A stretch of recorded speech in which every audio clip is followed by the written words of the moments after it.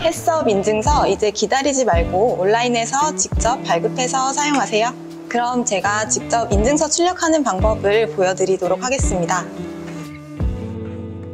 인증서를 직접 다운로드 하시려면 먼저 햇섭 심사 결과 알림 접수 번호 문자를 확인합니다.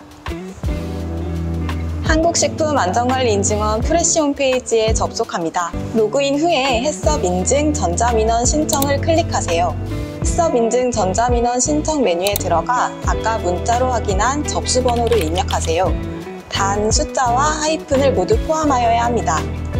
그리고 나서 다운로드 후 출력하실 수 있습니다. 아, 그리고 여기서 꿀팁 하나 나갑니다.